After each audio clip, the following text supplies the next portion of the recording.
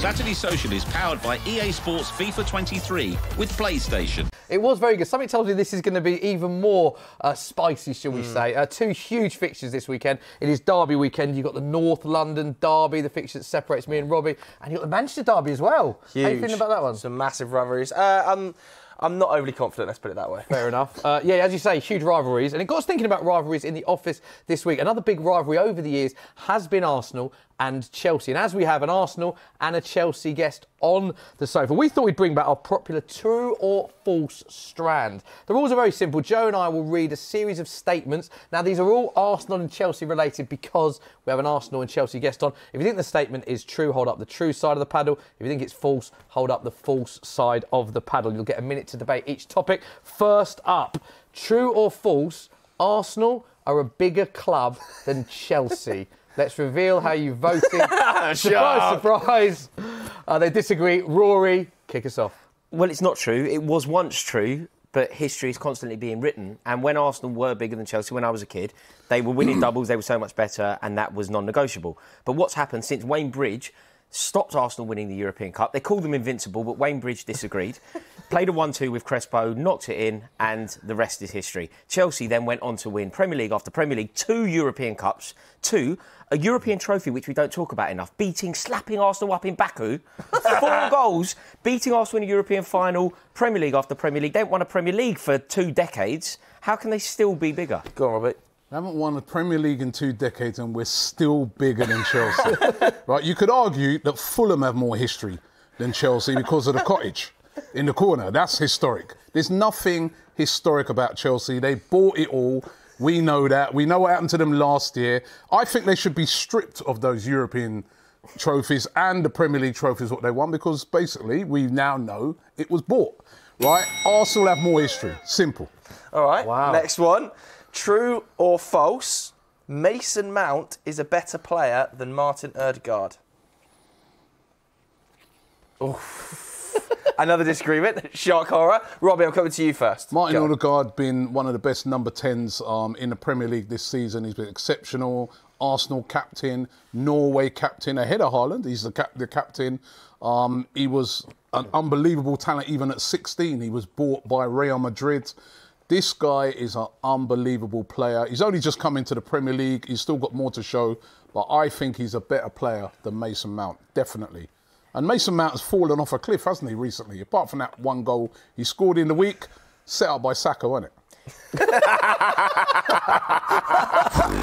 Mason Mount, liked, loved, and cherished by every manager that can possibly have him. Martin Odegaard launched out by every manager that had him in the past. Launched out? Mason Mount inspires a team. He is the metronome that keeps Chelsea ticking. His energy is relentless. Good eye for a goal. I don't know what he's not good at as a footballer.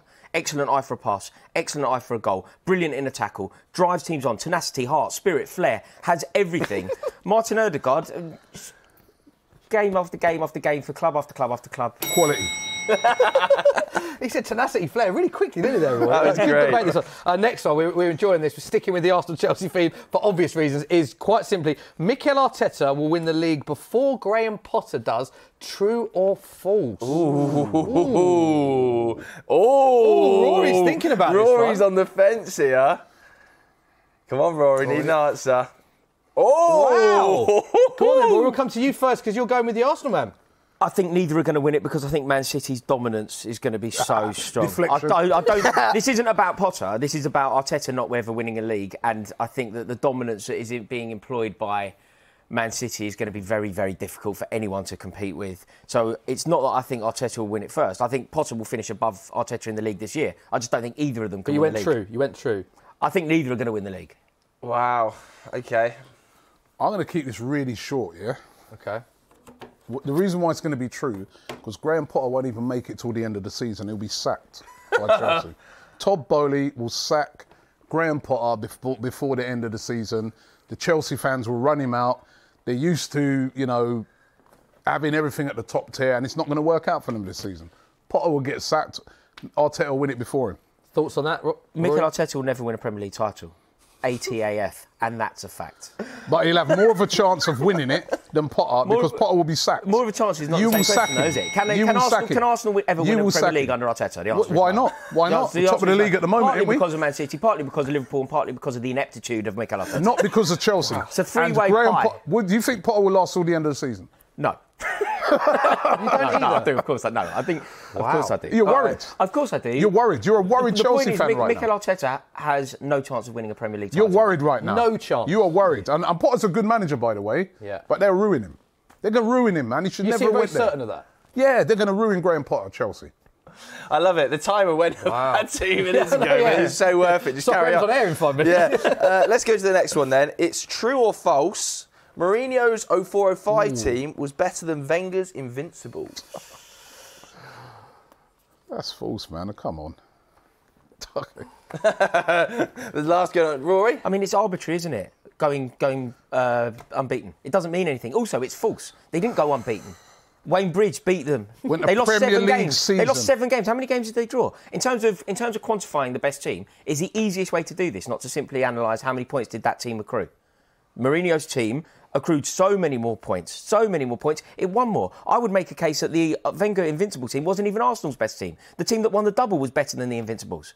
Of course, the Invincibles get spoken about time and time again. Why? it's just because it's a social media thing and it's I funny wonder on social why. media. Because it was, it wasn't even Arsenal's best team. It doesn't come close to Mourinho's team. Mourinho's team won more and got Listen, more he, points. he knows. That's why he's trying to, you know, the, all the fans, they sit down, they try to come up with narratives, right? Let me give you the facts. They went a whole Premier League season without losing a game. It has not been done since, with money thrown at it. And not only did they do that by not losing a game, they did it playing beautiful football. Unlike that Chelsea team that basically parked the bus all season. like, I'm telling you, right, happen. But Yeah, Chelsea, listen, Chelsea lost one game. It's so arbitrary. Chelsea lost one game away at Man City. is gold. What Nicolas Anelka, yours? Nicolas Anelka scored a penalty at Man City. Chelsea lost one game You that season. can't one game. Did they go we- one we game, won two one? Why did you How many lose none? trophies did you win? That Why did you lose How none? many trophies did you Why did you lose Did? Chelsea no, beat you hold on, that wait a season? minute. Answer that question. Why did We you lost lose one none? game because it's, no, it's the one game you it's lost. irrelevant. We won Why more, didn't you more lose points, none? more points, more trophies, more goals, less goals conceded. Why? n- Why 15 didn't you goals lose? conceded. Less goals conceded, more goals scored, more trophies won, more points accrued. Can I ask? so- Sorry, more points accrued. Rory, can I wasn't you a even their best team. Even any, Arsenal Rory, fan, let me they ask weren't even their best team. Rory, let me ask you One trophy, We've one more one do. poxy We've trophy. got one Please, more before to you do. before you do quickly, that one more, quickly. right? Just to shut me up, wouldn't you like to go a whole season unbeaten? Completely, completely irrelevant. completely irrelevant. Right, I'd let's just rather go. win the Quickly, league. let's go. I'd rather Last win the one. league. Quick with this. Which haven't done one. for two decades. True or false? Uh, the last one, we've got to rattle through this one because uh, it's getting a bit heated. True or false? Didier Drogba was a better big game player than Thierry Henry. Let's start the clock now. You, you better tell the truth here. Oh, good man. Let's start good the clock man. now. Good man. See, I, I, you see, I'm honourable.